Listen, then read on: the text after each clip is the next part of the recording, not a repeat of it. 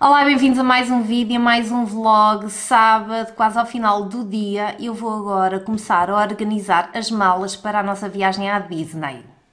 Esta viagem tem assim alguns aspectos diferentes daquelas que eu já fiz até agora, mas basicamente quando eu estou a, a imaginar uma mala, a organizar as coisas, hum, há sempre um denominador comum em todas as situações. Eu penso em roupa e calçado, na tratamento da pele e maquilhagem, medicamentos, documentação, uh, comida, e isto também depende um bocadinho dos destinos um, e daquilo que eu vou fazer e outra coisa são assim acessórios vários que tanto vão desde a almofada para colocar ao pescoço até à máquina fotográfica. E felizmente cá em casa temos espaço, então aquilo que eu estive a fazer durante a semana foi coloquei aqui as malas e fui metendo para aqui tudo aquilo que, que me lembrava que estava a mexer no dia a dia e pensava isto vai me dar jeito ou quero levar isto. Então veio tudo para aqui. Entretanto, a nível de maquilhagem e de cremes, um, tenho tudo também na, na casa de banho, já assim mais ou menos dividido e é por aí que eu vou começar a arrumar. E já estive aqui então a separar os produtos que eu quero levar. Esta parte até aqui é mais de cuidados e a partir daqui é um bocadinho de maquilhagem. E vou mostrar shampoo, vou levar esta miniatura da Kiehl's que tem 75ml, portanto chega perfeitamente para mim e para o Diego. Gel de banho, este é o da Bioderma que nós costumamos usar cá em casa e amaciador, condicionador, eu não tenho nenhum frasco pequenino assim disponível, então vou levar mesmo este. Isto vinha nas caixinhas das tintas para o cabelo quando eu usava a Excellence, portanto é um bom produto, então vou levar como amaciador. Vou levar aqui também o Color Wow, que hum, acaba por ser um protetor térmico, desodorizante e depois também comigo vai andar uma miniatura, gel para lavar a cara, isto é da Elemis e este é muito bom, é anti-aging. Este é o que eu vou usar de manhã e à noite. Vou levar também óleo, não tenho frasquinhos aqui, senão colocava isto num frasquinho mais pequeno, então vou levar este que já está a meio. Um cremezinho para as mãos e esta foi uma miniatura que me calhou no celeiro. Protetor solar, este da Isdino Fusion Water e este também que vinha num kitzinho daqui da Isdino que uma amiga me deu no Natal. Este será para andar comigo na mala, este provavelmente vou hum, colocar assim de manhã. Tenho também aqui um cremezinho, um sérum da Shiseido, Normalmente a primeira coisa que eu coloco é o mineral 89 e para a viagem vai ser este. Tenho também um cremezinho da Isdine para os olhos e de certeza que vai haver muito olheiro e que vão estar muito cansados. Tenho também assim um creme hidratante da Isdine de dia. E como vou levar este, já não vou levar então este da Eucerin, vou tirar. Tenho aqui o Embryoliss, que também é aquele creme que dá para tudo. Vou levar aqui a Lip Sleeping Mask da Laneige, que eu não uso só para ir dormir, mas durante o dia também gosto e para mim para o Diego. E também vou levar esta da Bioderma, que esta provavelmente vai entrar na mochila comigo. E para a noite vou levar pouca coisa, vou levar o Advanced Night Repair da Estée Lauder e um creminho também da Estée Lauder que é o Revitalizing Supreme. E a nível de cuidados da pele é isto que eu vou levar e aquilo será para banho. Depois tenho aqui assim as minhas coisinhas de maquilhagem que também vou para o básico. E temos então aqui o corretor de olheiras, que é o líquido de camuflagem da Catrice. Temos também uma paletazinha da Catrice.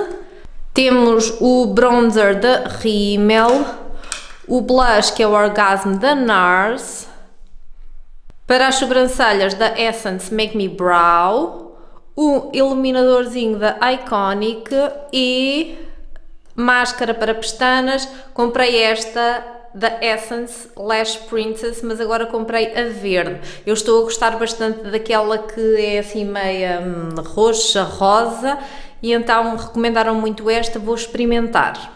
Tenho um lápis preto e depois isto são pincéis, cotonetes, porque eu estou-me sempre a borrar e provavelmente há no hotel, mas só para prevenir. A minha escova de cabelo, que é da Tangle Teaser, e vou levar três toalhinhas assim de rosto. E estas coisinhas vão dar perfeitamente para 4 dias. Agora vou colocar em bolsinhas, ver onde é que fica melhor e deixar esta parte tratada. As coisas já estão organizadas, cuidados com a pele, shampoos e coisas para banho, as toalhinhas e a parte da maquilhagem e escova do cabelo. E se calhar aqui ainda vou colocar também as escovas de dentes e a pasta de dentes.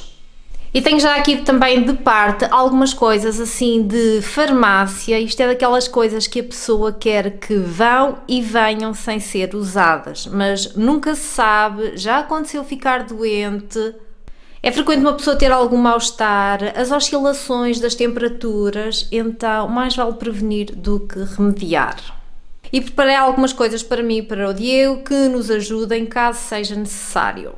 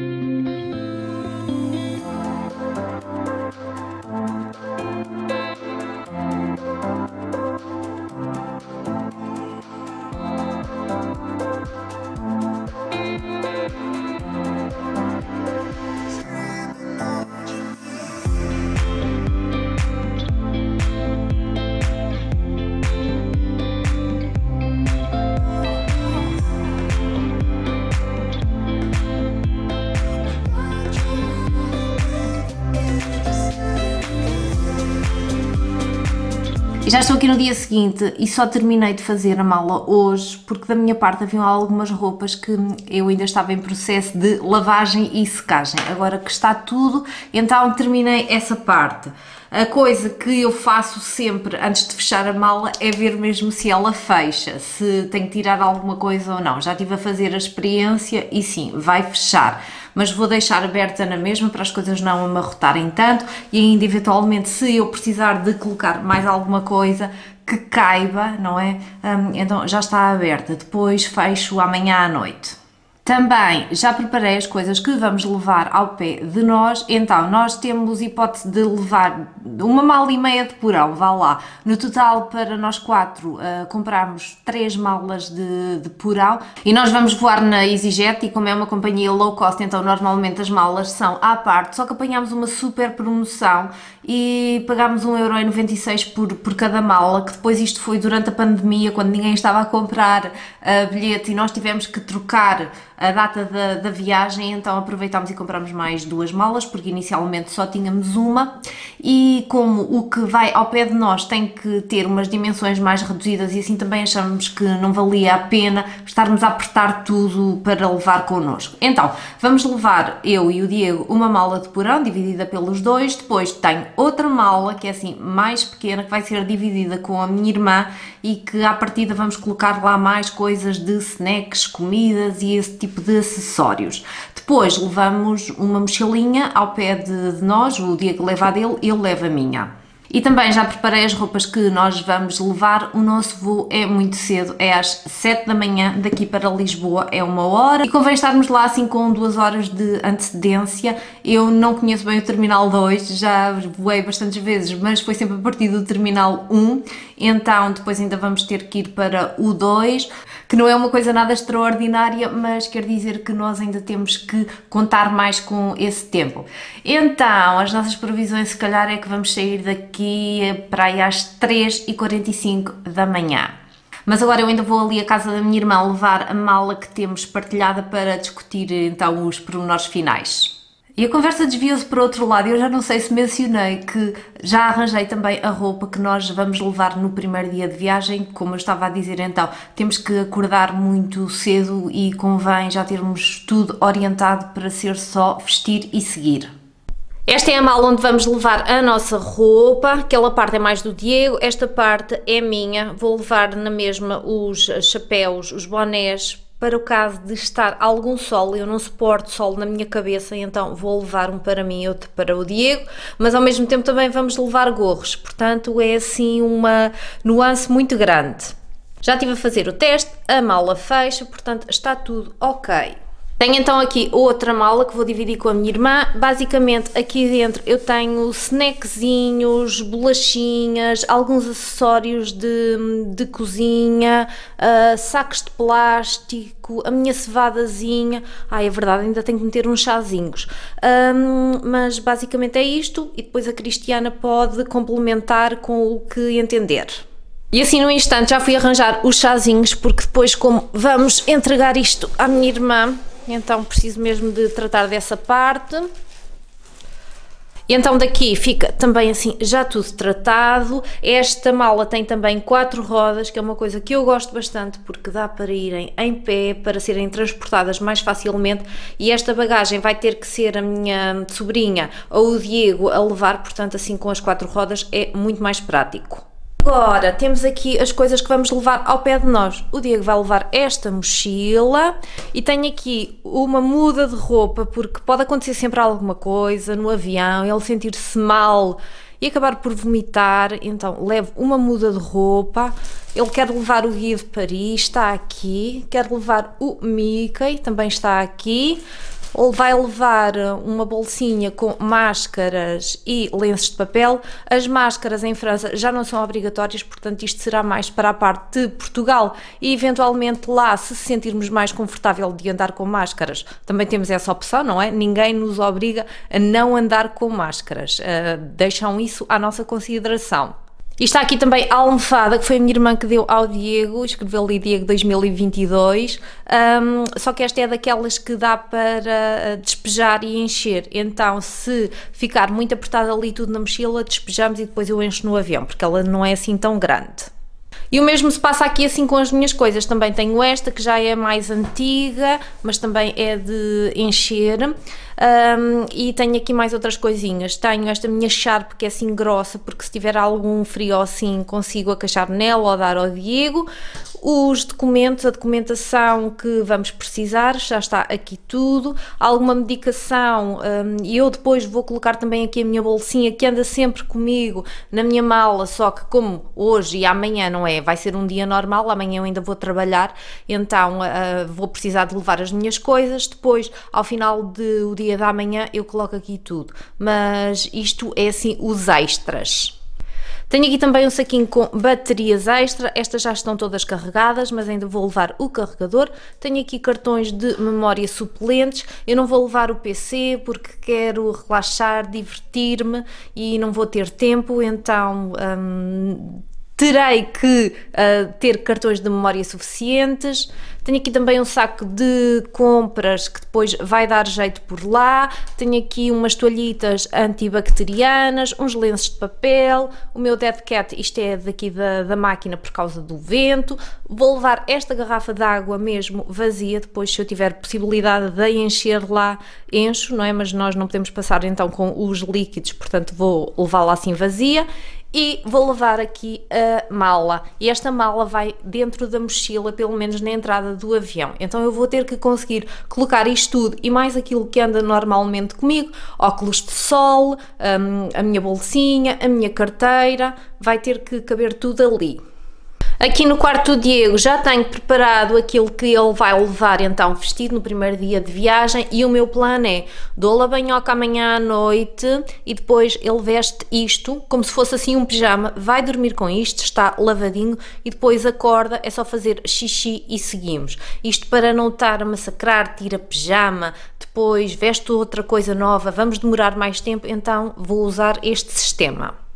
E aqui no meu quarto também já tenho as coisas que vou levar no primeiro dia. Eu não posso dormir com elas, não é? Mas eu já troco mais facilmente de, de pijama um, para esta roupa. E o gorro vou levar na mesma, como vamos assim de madrugada, ainda não sei, provavelmente vai estar a chover, não sabemos, mas para dar alguma espécie de proteção. Vou levar também as meias de descanso no avião, apesar da viagem ser super curta, mas vai dar jeito na mesma porque vou ter as pernas cansadas seguramente e o meu colete. E estava no quarto a mostrar as roupas que vou levar no primeiro dia e estava-me a lembrar. Então, as combinações de cores que eu fiz é tudo que dê para misturar umas coisas, porque eu não sei bem como é que vai estar o tempo, as previsões num minuto é que chove, no outro minuto a seguir é que está sol, então só mesmo naqueles dias é que nós vamos ver. Vamos preparados para a chuva na mesma. A minha irmã vai levar capas para, para nós, uh, que já lá têm preparadas, que comprou especialmente para isto e duas que já tinha mas tentei que as cores combinassem todas entre si para depois a conjugação ser muito mais fácil.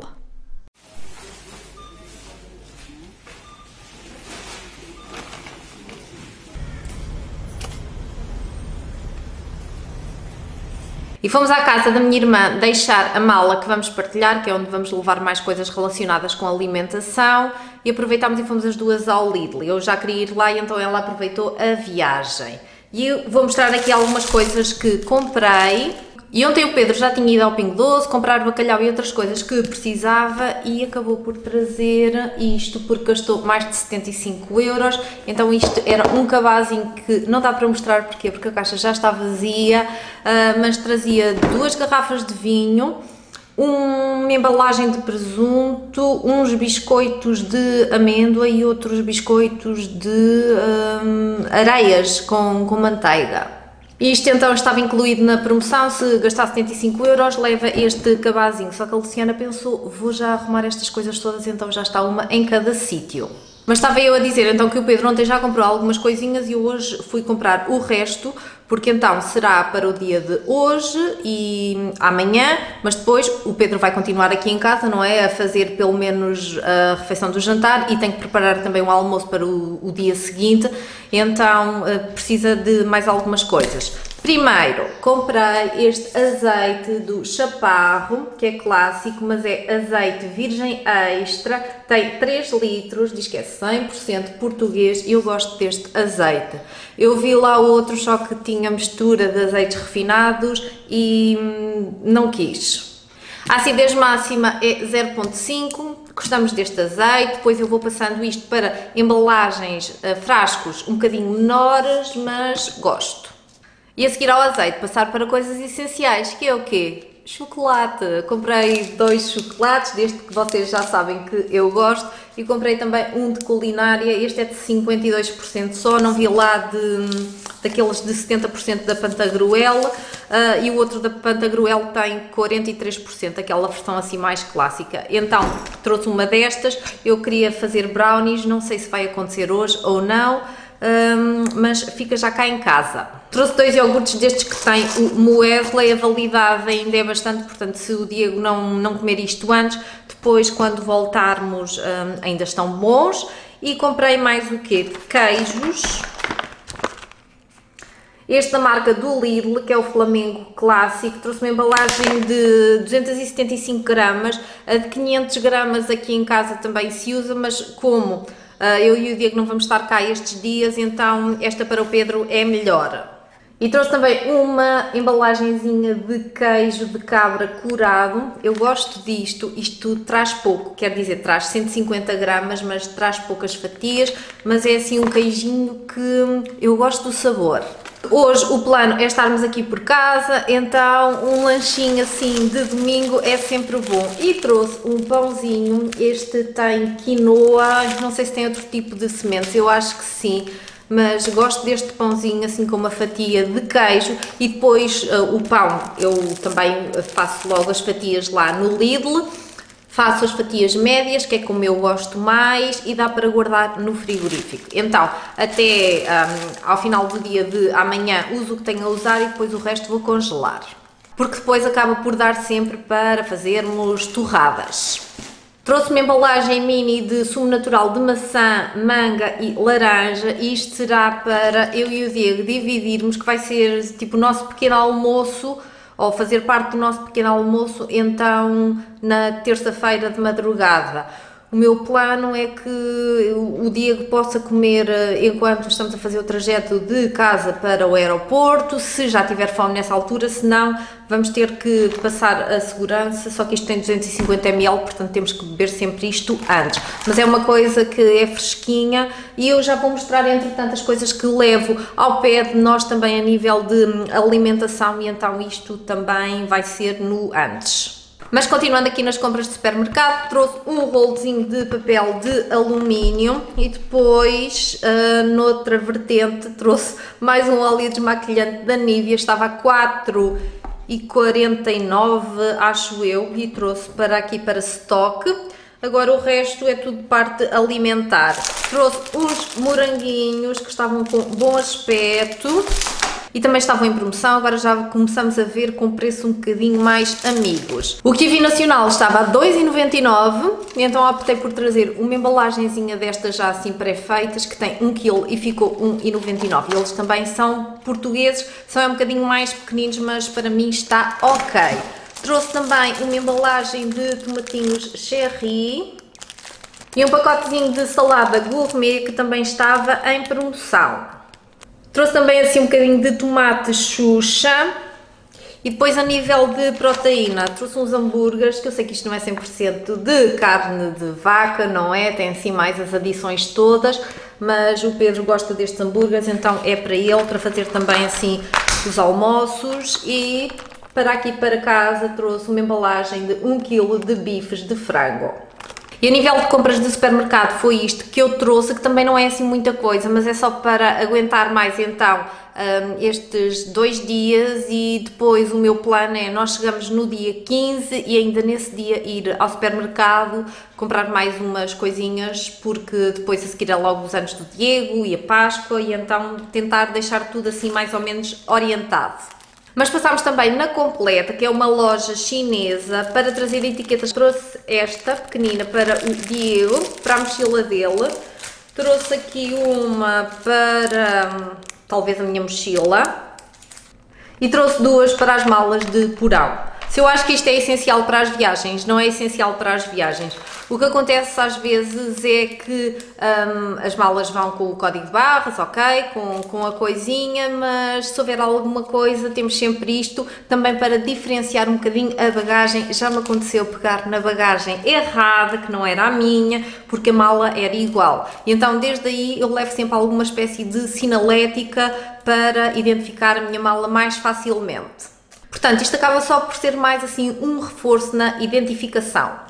Agora vou arrumar estas coisinhas e para o almoço isto já está mais ou menos controlado porque vai ser muito à base de sobras para despejarmos o frigorífico e vou só fazer assim uma sopinha fresca, mas não vou fazer muita quantidade para depois não ficar aí.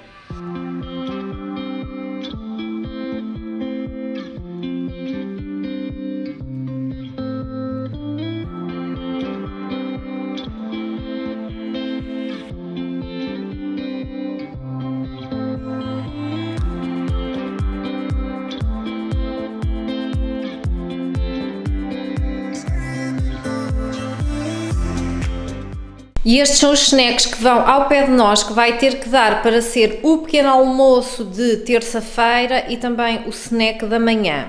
Tenho aqui daquelas bolachinhas de pequeno almoço, uma é com aveia e outra é com cereais, umas digestivas, uns All Brown, isto traz duas, portanto dá sempre para dividir para mim e para o Diego, mais duas barrinhas, este tem tâmaras e sementes, e este aqui tem tâmaras e coco.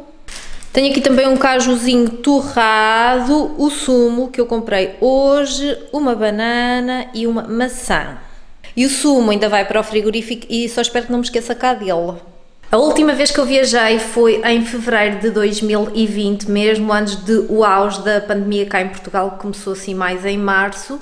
Então uma pessoa parece que está meio destreinada, mas ao mesmo tempo volta a fazer isso e parece que, que é tudo assim já rotina e normal.